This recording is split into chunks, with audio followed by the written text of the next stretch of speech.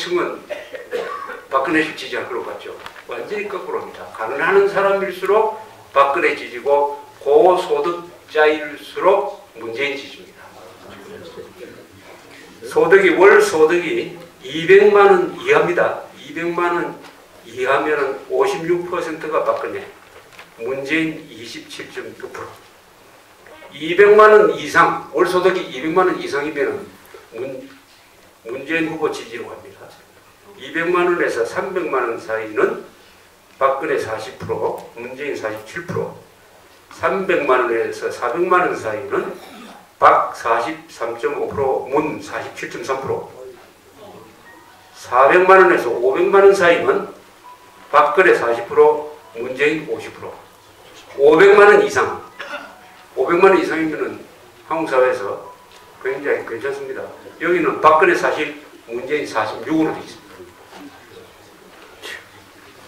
그 다음에 학력, 학력, 학력은 어떠냐? 중졸 이하는 박근혜 63.9, 문재인 23.5예요. 고졸 이하는 박근혜 53%, 문재인 33%. 대학 재학 이상의 학력을 가진 사람은 박근혜 37, 문재인 50%입니다. 이게 보여주는 게 뭡니까? 고학력, 고소득자, 사무실 근무자 이 사람들은 대한민국 자본주의의 적응을 해가지고 성공한 사람이에요. 국가 혜택을 많이 받은 사람이에요. 그 사람들이 문재인 지지랄 거예요.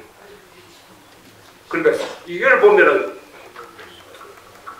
박근혜 씨는 서민 후보입니다. 문재인은 부자 후보예요. 부자 후보입니다. 이게 우리 한국의 아주 사, 한국 사회의 아주 불안 요소예요. 불안 요소. 즉, 그 체제에서 가장 어, 중성심이, 체제에 대한 중성심이 강해야 될 사람들이 반체제적으로 가고 있다. 반체제적으로. 체제의 혜택을 가장 많이 받는 사람일수록 반체제 쪽으로 가고 있다. 거기에 핵심이 바로 교수, 학생, 언론, 정치, 요 사람들이 역할이죠. 그러면 이걸 가지고 이제 넓게 보면 이렇습니다. 한국 사회에서 말빨이 센 사람들이 누구냐? 주로 화이트 칼라, 대학 생, 요 계층입니다. 요 안에 정치인 뭐, 언론이 다 들어가 있습니다. 이 층이 압도적으로 좌파 후보, 좌경 성향을 지지하기 때문에 이런 사람들이 주도하는 언론은 항상 왼쪽이다. 항상 왼쪽이다. 그런데 선거만 하면은 그렇지 않아요. 선거 때는 그렇지 않아요. 선거 때 투표를 딱 해보면은 오른쪽이 이기는 경우가 많아요. 그런데 항상 선거를 할수 없지 않습니까? 365일 매일 선거를 할 수 없고 선거 끝나면 이제 일상으로 돌아가요. 일상으로 돌아가면은 누구냐? 요 왼쪽 성향을 가진 화이트 칼라 학생층이 많은 행동을 하고 많은 말을 쏟아내고 언론을 좌지우지합니다.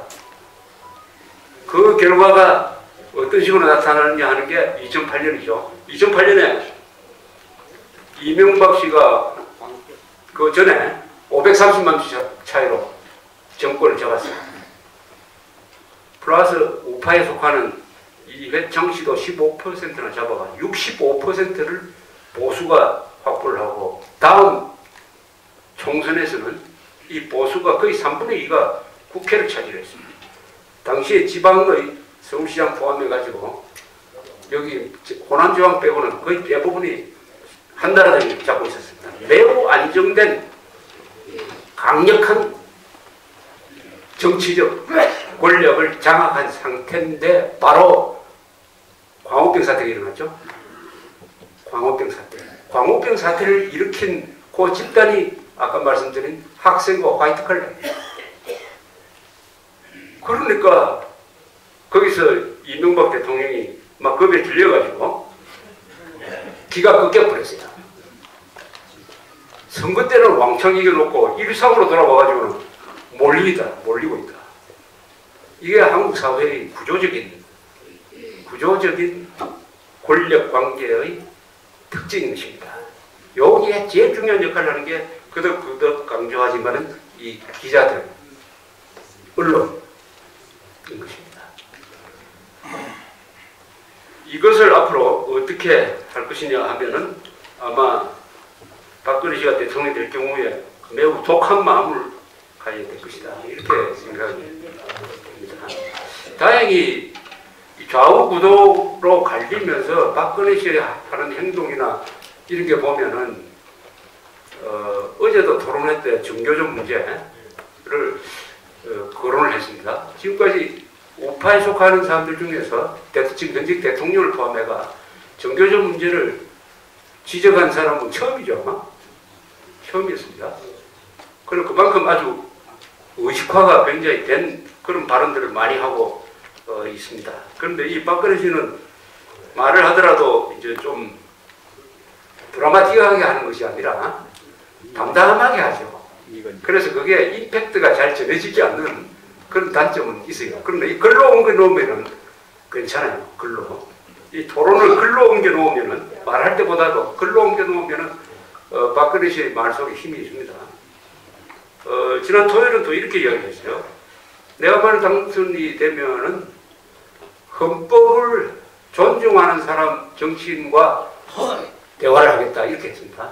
그 말은 헌법을 존중하지 않는 사람은 어, 국정 파트너로 생각하지 않겠다는 말이 포함되어 있어요. 그건 아주 생각을 깊게 한 깊게 한 글이라고 생각을 합니다. 그러니까 앞으로 우리 정치를 자를 때 이렇게 해야 돼요. 헌법 존중하는 사람들끼리만 정치를 하자.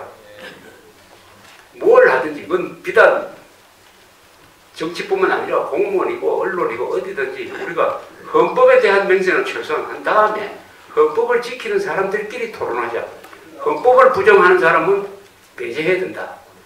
국민 대통령 합의라고 하지만은 그것은 헌법을 파괴하겠다는 세력까지 대포 통합하는 게 아니고 그런 사람을 배제한